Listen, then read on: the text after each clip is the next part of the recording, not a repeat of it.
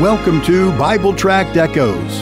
This program is the radio ministry of Bible Tracts Incorporated. Our mission is to take the Word of God to all the world. Our Bible teacher is the director of Bible Tracts, Pastor Mark Smith. Since 1938, Bible Tracts Incorporated has been publishing clear gospel tracts and supplying them to churches, missionaries, and individuals all over the world, and all at no charge. Information on how you can receive a free sample pack of our tracts will be given at the end of this broadcast. Now, for our Bible study, here is our teacher, Pastor Mark Smith. How do you do, my friend? Welcome to the Tuesday edition here at Bible Tract Echoes, and every Tuesday has the same title. We call our Tuesday broadcast this way a Tract and Truth Tuesday. And welcome to Tract and Truth Tuesday. That word tract is spelled T R A C T because this ministry of Bible Tract Echoes is the radio arm of a larger ministry called Bible Tracts Incorporated, and that word tracts refers to an evangelism tool, a short written presentation of the gospel of Christ. It's a powerful tool, and we try to encourage people to use gospel tracts and we give them away free all over the world. I've got one of our gospel tracts here in front of me. I want to tell you about it in a moment. I also have my Bible open to 1 Corinthians chapter 16. If you can, stop, get your Bible out. 1 Corinthians 16. Now, listen, friend, on our Tract and Truth Tuesday broadcast, I often share a personal event where I used a tract to share the gospel. Many of you, as I'm out in churches preaching, talk about how you really enjoy those stories. Well, friend, I enjoy the stories. I enjoy telling the gospel. Now, other Tuesdays, I use those to try to sharpen our skills in you and I actually verbally telling the gospel to a lost person in a one on one, eyeball to eyeball setting. Well, today, neither one of these is my focus. I want to use today's broadcast to share how I was encouraged personally as I was recently in a local church, and then I want to share about an open door that looks like it's coming our way. To that end, my verse for the broadcast is found in 1 Corinthians 16. It's verse 9. If you happen to attend a strong uh, missionary minded church, if that's a strong emphasis at your church, and you have missionaries that come through and speak with any kind of regularity, then most likely you've heard a missionary preach from 1 Corinthians 16 9. Let me read it to you right now. The verse says this For a great door and effectual is open unto me, and there are many adversaries. In a moment, I want to tell about that local church who saw an open door, a door that was effectual, and how God blessed. And then I want to share an open door that seems to be facing us here at Bible Tracts Incorporated. You be ready. This is a great day to be listening to this broadcast. I mentioned a moment ago, I have one of our gospel tracts in my hand, and I said it's kind of funny that this would be the one for today because it's entitled, He Is Not Here. He is not here. On the front face of it are some Easter lilies. Now, I know what week it is that this broadcast is being designed for. This is the week right after Thanksgiving. So, uh, since the rest of the world is talking about Christmas already, and they have for a while, let's just jump over to Easter, shall we? The word Easter does not appear in this tract. What this tract is about is the resurrection of Jesus Christ because the resurrection is a critical truth point of the gospel. I don't make that up. It's found in 1 Corinthians 15. How that the gospel was how Christ died for our sins, was buried, and rose again. It's the part of the gospel message. It's all over the book of Acts as it was preached as the church began there after the day of Pentecost and went forward. Here's a tract that many people use, yes, at Easter time. It's got those Easter lilies on it, but this tract, He Is Not Here, is not just an Easter tract. It's a gospel tract. Use it all year long. Use it.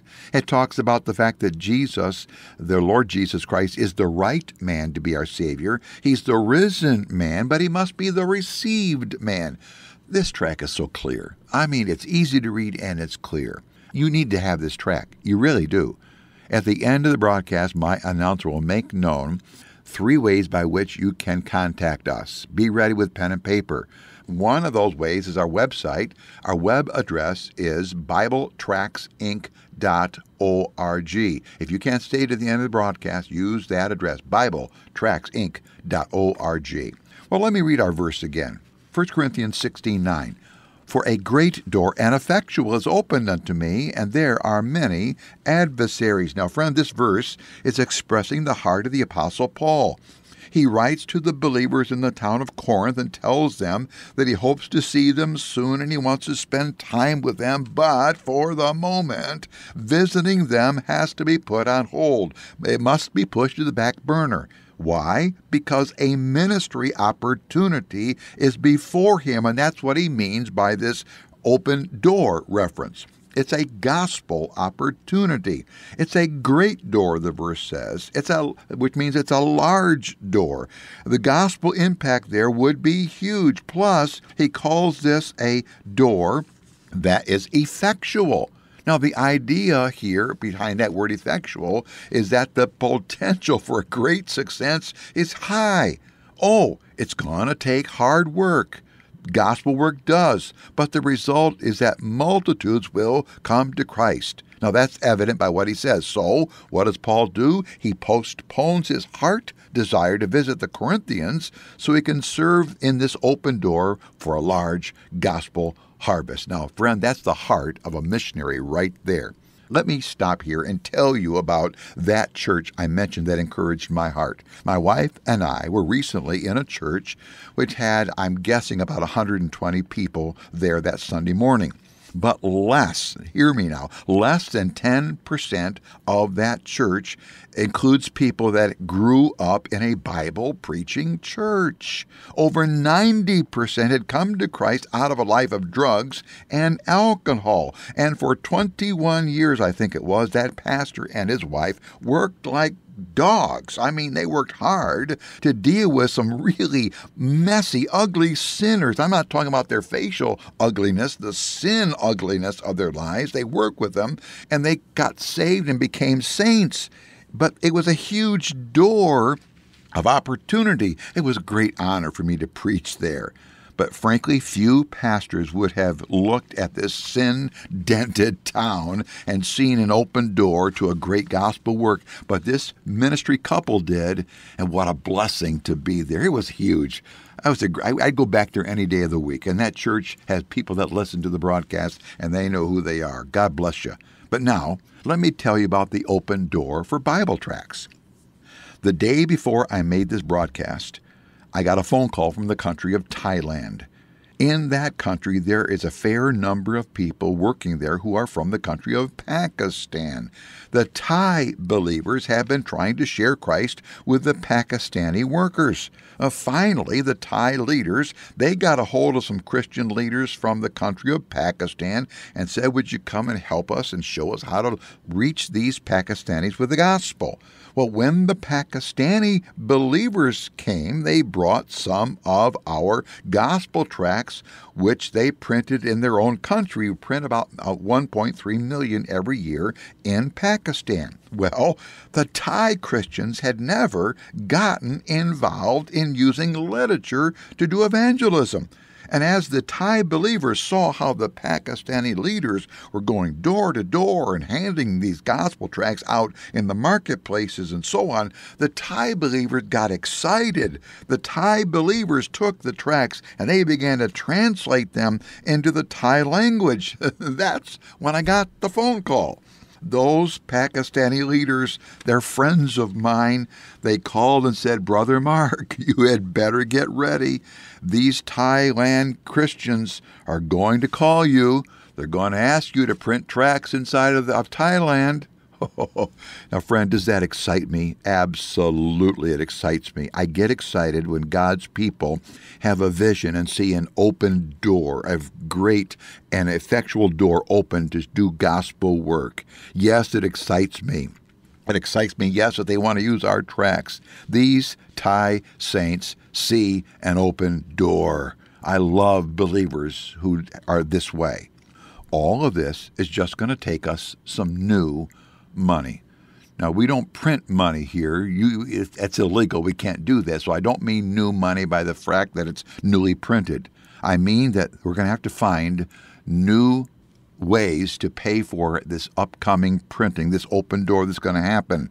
See, right now, all of our funds are already allocated to provide tracts in other places around the world as well as here in our own country. But there's a great door is open in front of us. It's soon to have to be either, well, do or don't do and take advantage of this open door. Would you pray with us about this open door? Would you really? I do believe it's a great door. I believe it's a effectual door. The potential for success in this largely Buddhist country. Now, Pakistan is about 95% Muslim, but Thailand is about 90% Buddhist. Now, but don't forget, don't forget, the gospel verse we read, 1 Corinthians 16 9, says that with gospel opportunities, with these great open doors, comes also many adversaries. The Thai believers, they were already battling with Buddhists who didn't want the gospel message and the Christian community to grow, but then God brought them these people from Pakistan, and now they're trying to minister to among uh, the Muslim people as well and they found a new tool they think will just magnify the impact of the gospel. They're called tracts. Hey, friend, do you have a vision, personal vision, to do gospel work? Do you hear about people telling the gospel and you say, wow, that's great. I wish I could do that? Do you hear about people handing out tracts and you say, wow, that's great. I wish I could do that? But you don't do that. Do, do you not have a vision for what God can do with the gospel. You see, the power of the gospel is not in you.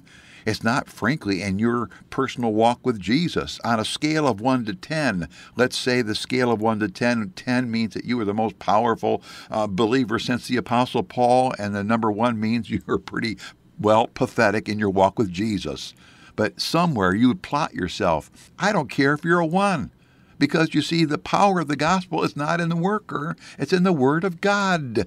I can give the gospel tract to a seven year old. He can go out, pass them out because the power of the gospel is in the word of God. Faith cometh by hearing, and hearing by the word of God. It's not an issue of how slick your gospel presentation is, it's not an issue of how pretty the tract is. You put God's word in the hand of a lost person and let loose the prayer undergirding all that and watch what the Spirit of God will do.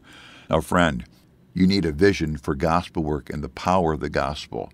It'll change your life as you tell the gospel with greater intensity, but you're going to see people come to Christ. Oh, not everybody, but some are going to come to Christ. I know that because the gospel works wherever it is tried. You need our gospel tracts. In a moment, my announcer is going to give our mailing address, phone number, and website. Please let us become partners with you in doing gospel work. A great door, an effectual, is open unto us. Yes, there's adversaries, but we have the power of the Creator God behind us and His written, eternal, perfect Word. Let's go with the gospel. Thank you for joining us today for Bible Tract Echoes. If you would like to receive a free sample packet of our tracts, you can contact us by calling 309 828 6888 our mailing address is Bible Tracts, P.O. Box 188, Bloomington, Illinois 61702. Again, our phone number is 309 828 6888, and our mailing address is P.O. Box 188, Bloomington, Illinois 61702. You can also contact us through our website. Our web address is BibleTractsInc.org. Remember, the word tracts is spelled T R A C T S. That address is BibleTractsInc.org. May the Lord richly bless you as you serve Him.